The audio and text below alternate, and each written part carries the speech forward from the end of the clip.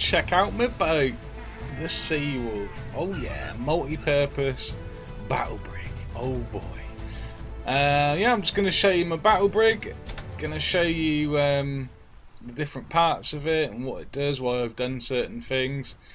And uh, hopefully I'll get to show you it in action. Try and find a whale um, or a couple of ships of damned or maybe both. Who knows? We'll see what happens. Uh, currently sunrise. Been waiting for the sun to come up because it gets really dark in this game. And I don't like when I turn the camera up because I forget to put it back down. It looks awful in the daytime. But yeah, this is the Seawolf. Um, loads of armour on it. It's pretty heavy um, for a ship, to be honest, but it does the job. Got my cool little emblem, if I do say so myself, a bronze beard, the bronze beard emblem. Um, and yeah, got uh, free handling sails on it. Uh, they're fine handling sails there. They've got increased angle on them. There's a galleon over there sailing past. Lovely. Um, and the cannons, I've got 10 cannons. Got uh, They're all masterwork cannons. I can't remember what the damage is. I'll have a look in a minute when we're walking around. And three uh, journeyman ballistas as well. Plus two diving uh, attachments, one on each side, just because I don't like like it when they don't match. I'll just pull the sails down and we'll have a little wander around the ship before sailing into anything. So here we go, got a few little fires here because I'm in the polar region. This is in N1 on the official server, which is where um, I spend most of my time. And uh, got Frosty the Penguin. Oh boy, my little buddy Frosty with his little pirate hat on. Um, and that and the fires stops me dying. He just works on his own fine most of the time, but there has been an occasion where it's got super cold up here, like minus 60 cold and uh, even with full fur armour on like I'm wearing and 60 fortitude, it hasn't been enough. So uh, yeah, we've got a little penguin, super handy, and he looks awesome in his hat. But yeah, back to the boat. Oh yeah, all my crew got matching uniform because I am sad and I like to do that kind of stuff. Look at them, they look cool though. Tell me that doesn't look cool in their matching uniform. Oh boy. Yeah, all these cannons that they're actually on are um, Masterwork. Now, 131% increased weapon damage.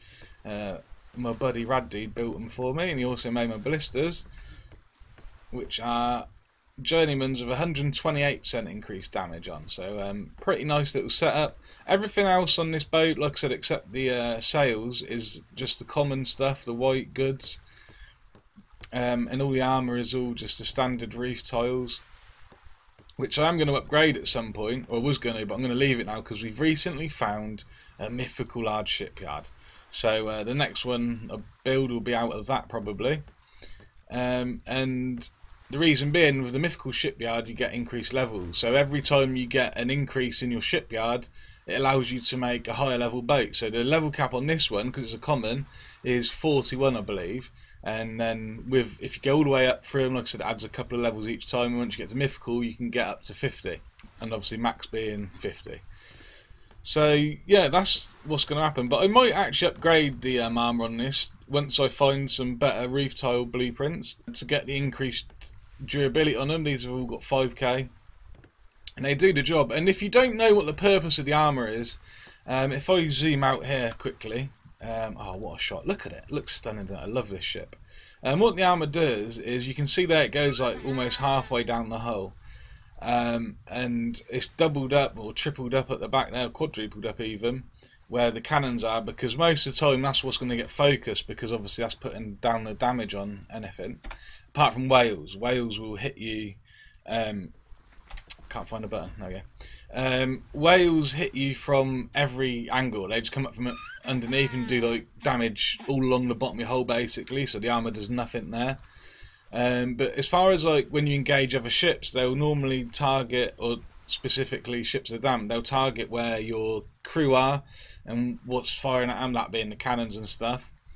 So um, yeah, that takes a lot of the damage most time. God damn, that fog transition was nutty. Oh boy. Uh, yeah, so the armour protects your hull, obviously, that's what it does. Um, and it does a really good job of it as well because this will all get destroyed before you take significant damage to your planks. Um, most of the time, even if I lose some planks and stuff, if, if I go and check my planks down here, they'll all be on, they'll, they'll still be on like over 3k, 3.5k health. um, because the armor does that much defense for the boat. Is that a sentence? I think it is. You know what I mean. It, it works that efficiently, um, so it's really really handy. I've gone a bit over the top of it. I thought originally because it's quite heavy. Um, although I've, I'm level 39 on this ship now, and uh, the weight's up to like 8k or something. I think, oh, exactly 8k. And I'm just going to leave it there. We're at like not quite 50% weight right now, and I've got um, a lot of resources on for repairs. Got a full ship's crew. Got food. We've got a water barrel, which is a little bit heavy. Um, obviously, got 10 cannons, three ballistas. The ballistas are really heavy, and all the ammo for them. So it's quite a lot on here, to be honest. And you know, it's not overweight. I'm still getting a good good amount of speed out of it. I still outrun most things that I need to. Whales won't catch it, so that's handy. Um, does well in a fight, so it's it's fine. But originally, I didn't have all this armor. Like I said, it was just the back. And what was happening was um, stuff was getting damaged at the front, and instead of losing a armor piece, I was having to go and repair planks in the middle of stuff, or run away and repair things and I just thought, wow, I'll put the whole lot around, and I'm glad I did because it looks really cool for one, and it does work. And I managed to get it done without having to have any walls supporting it. Originally, I put walls down the side, which I kind of like the look of, um, but got in a massive fight, a big fleet fight, and um, it all got taken out. Although the arm was still on the outside, and then I realised I didn't actually need them, so I took them all out, all the walls, and all the roof tiles still stayed up. Um, I think it's because they all come off this back piece, this hollow bit, which used to be a cabin and a galley, um, which I changed once I decided to go this route of um, shipbuilding. Um, and the reason I'd done that was because, like I said earlier, they all the damage gets focused at the back here, and what was happening was on the back, if I uh, zoom out here, where the um, Seawolf nameplate is, obviously there's no armour there, so that gets hit and then panels get taken out. Um, and if you get hit with a barrage, everything was going in that back bit. And you can actually protect that back piece by building the armour before you put your planks on, but I'll explain that in another video. Um, I didn't do that on this boat. Um, but yeah, it was taking out them, and then it was damaging the stuff that was in this cabin. Like I said, this used to be a two-leveled cabin. Um, had the the top bit on the that would be the second row there was the captain's quarters, and down here was a galley, and then I had the stairs going down into the hull. Um, and when the back panel was getting blown out, it was destroying all my storage boxes and my um, food larders and stuff like that at the back. So I got sick of it and redone it and took that out, left these in obviously to hold everything up. Put a feeding trough in, I put a bear in here when I go out doing treasure maps and it's just tucked in there nicely out the way and it stays there nice and safe and uh, yeah it works really well I don't really like the look of it there's not much I can do with it I've tried playing around with it and that was what I was happiest with so that's how it stayed and if I go down here into the hull um, I've moved everything into the middle of the ship because like I said it was at the back it was getting destroyed and um, didn't want it at the front because it's too far to run and I'm lazy. it's just more efficient to have it here with the um, access hatch right next to it. So when I'm loading, which what these doors are for, I've got one each side depending on which side I've moored on. Um, to load things on nice and easy, I can stand here on a and throw a load of wood down there, for example, pick all the wood up, chuck it down here, and then put it into the resource box or whatever I want to do with it. So it's just nice and efficient. We've got um, two bookshelves. One's a dump, which is this one. This one's uh, like a current run. I ain't got anything in there at the moment, but all that is um, is if I go map hunting, um, I'll go. I'm going to N3. I'll collect all the maps at N3 that are in the bookshelf in the vault at the main base in N1, and then I'll put them in there, and they're the ones I'm doing. And everything else I collect on the journey, I dump in there, and I sort it out later when I get back to base and I've just got the one storage box to save weight. I don't like doing this. I like to have things organised into different like categories. Um, but to save weight, I've just got the one storage box and I've minimalised everything. Um, I've got a couple of sets of fur armour in case like Jamie or Tim or anyone jumps over to help me with anything. Um, so there's some extra fur armour pieces. A few extra grappling hooks and things like that, just handy little bits, and six planks in case anything goes tits up and I lose a plank, because that is really important. And the other super important thing is buckets. Um, people don't know you can bail out your ship with a bucket. Um, and uh, Rad Dude, or Tim, he didn't realise that he's lost his ship because he didn't know he could bail out the water and he tried to sail to an island and in the time it took him to get to the island he was still sinking and then I jumped across and I was as I got there the boat sunk and he didn't have no buckets. And um, yeah, it's really important you have buckets in your storage box. And uh, six planks or so. Six planks might be a bit too many. You just need a couple basically. It's not very often you, unless you get hit by a whale, you shouldn't lose a, a lot of planks in one go. But I like to have six. Um, don't know why, it's just a number I like to have in there. And that way, if things go really bad, you've got a plank, and if you just start sinking and you don't want to waste a plank, you've got your buckets and you can bail out the water while you're repairing or trying to get to an island uh, that's the way to do it. So yeah, really minimalist, just the essentials. Obviously the ammo box. I only carry ballista and cannonballs with me, the medium cannonballs. Um, anything else I collect on the journey I will put in there, but I'll empty out afterwards, and I'll only keep the medium cannon and the ballistic bol uh, bolts in there.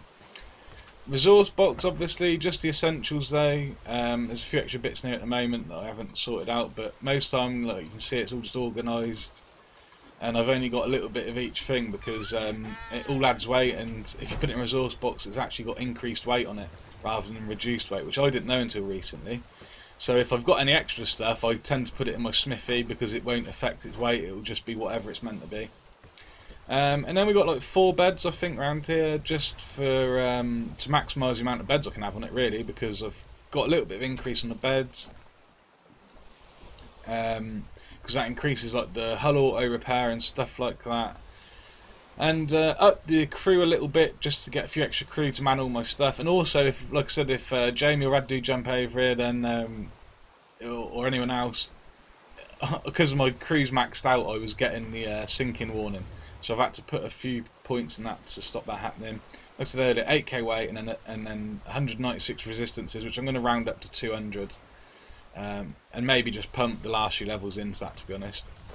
Uh, that does so much damage reduction, is unbelievable. You should always make sure you get a lot of that. Um, then we've just got uh, an ice box, which I might take off now, to be honest. I put it on originally because I built this boat, um, or I modified it in the region down from here, and I didn't have no ice, so I stuck that in to make ice for my little uh, preserving bag there.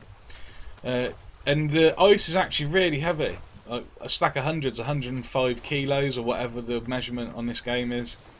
So, um, oh, it is kilos, yeah, it's 105 kilos per stack of ice. It's really heavy if that ice box filled up. So I might take that off now I've got it all up and running. Um, got a grill instead of cooking pot, so I prefer it to the cooking pot, and that is the only reason I've got it. And then a mess table, obviously, to feed the uh, crew, which is empty at the moment. I need to top that up. And yeah, that's about it, really. That's um, the hull anyway. And uh, like I said, the armour completely surrounds it. Got two diving attachments because I don't like it when they don't match up, so I like to have one each side. And the other thing being, um, if anyone comes over or we're doing anything together, there's two diving attachments if anyone else fancies a little dive. And uh, yeah, we've got one ladder up to the front crow's nest um, on the handling sails, which is, like I said earlier, the handling sails are um, fine and 106% increased angle. Um, need to upgrade them at some point, but they've been really handy for the moment. And the reason I've got handling sails not speed sails, and a lot of people go, oh, I want speed sails. Um, I prefer the handling sails. I prefer to be able to turn. I prefer to get um, the wind angle and the wind's blowing the wrong direction or not a direction that favours me. I like to have the handling sails for that because you can get out of trouble a lot easier with them. And they, the turning, the, the manoeuvrability of the boat with free handling sails on is absolutely awesome. I love it. I love the speed of the um, opening and closing of the sails and the turning of the sails. I just like handling sails, and I ain't really that bothered. I ain't trying to get anywhere far, really. I'm not trying to go like a lot of. I'm not trying to go a long distance. Fucking hell, sentences are hard, aren't they, man? Jesus. I'm not trying to get that far with this boat. I'm only really staying up here farming things. And if I have to take it somewhere, it won't be very often. I'm not bothered about how long it takes.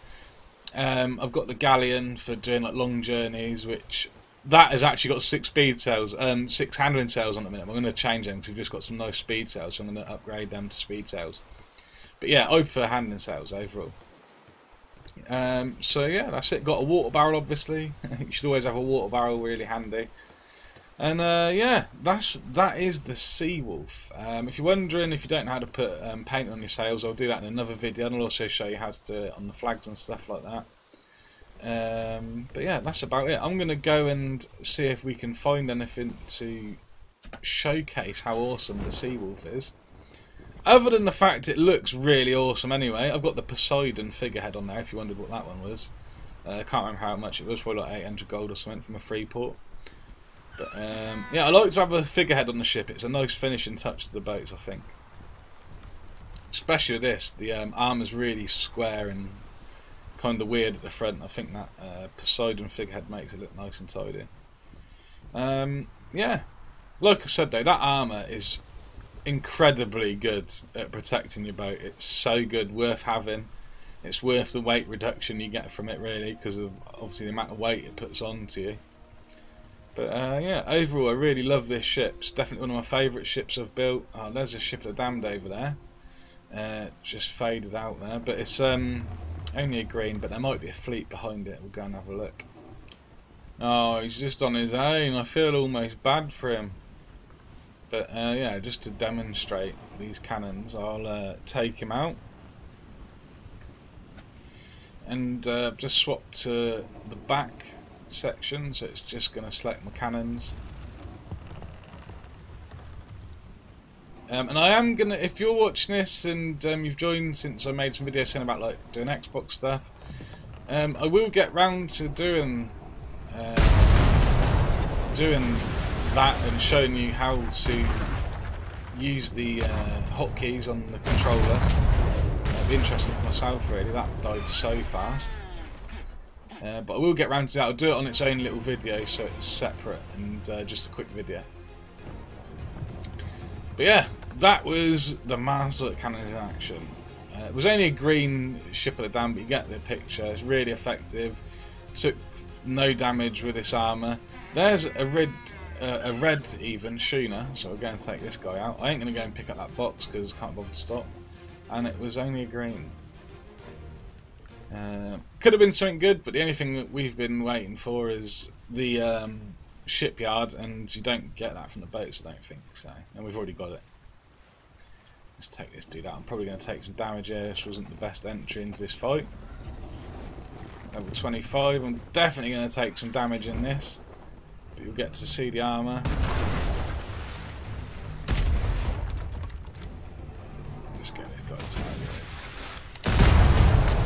Sails turned. Yeah, masterwork cannons making short work of this dude as well. Is he going to turn and come for me? Hopefully, I can't bother to turn around, so hopefully he's going to come. Um, unlike me, what you want to do really is cancel the uh, cannon shots. I think he's slightly out of range, because otherwise I'll just keep going off like that.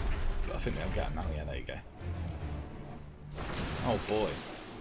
I wish there was a fleet here, but you can see how powerful this boat is. You can see how effective the cannon, uh, the uh, armour is. Um, and you can do just that with a fleet, and you just want to pick them off exactly like as if they was on their own anyway. Just try and grab one at a time. Um, and you can take a good barrage with this armour on. Um, I've found I've done it quite a few times. Like got broadsided by a couple of galleons and just sailed on through might lose a panel or two, but you can get through it and pull what you're trying to pull and nuke each thing down individually. And that seems to be uh, one of the strongest strongest strategies for this boat in particular. But yeah, that's the Seawolf. Uh, I haven't seen no whales, which is unfortunate. But um, I'll do a whaling video anyway, separate, um, and show you the the ballistas in action. Uh, but yeah, like I said, this is a multi-purpose brig, and the reason I've done that is because this was the first battle brig I had, and uh, we've gone from strength to strength in a really short period of time, and I've had no reason to swap out of this boat and have like an individual whaler or um, ship of the damned fighter, because this does both things like really, really easily. So just kind of be a waste of resources. I want to wait and uh, like we've got the mythical shipyard now, so I want to wait and make something out of that. And to be honest, I'll probably make a carbon copy of this, uh, just with, you know, obviously it'll be a higher level. I might change a few things here and there, but obviously um, when I do that, I'll show you guys what I come up with. So have a look what was in this. Not a bloody lot. I'm slowly dying of malnutrition. Forgot my berries and my vegetables, god damn it. But anyway, I'm going to get this back to base and uh, probably die and respawn because uh, I can't bother to uh, sort them vitamins out when they're that low. But anyway, hope you guys enjoyed the video. Hope you found the brig interesting or helpful. Maybe it's um, gonna trigger something that you'd like to use.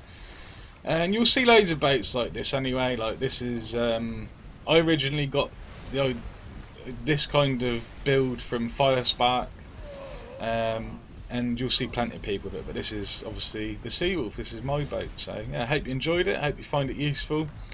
And uh, I'll see you on the seven seas. Arr! There's only one sea on this game. You know what I mean. See you later.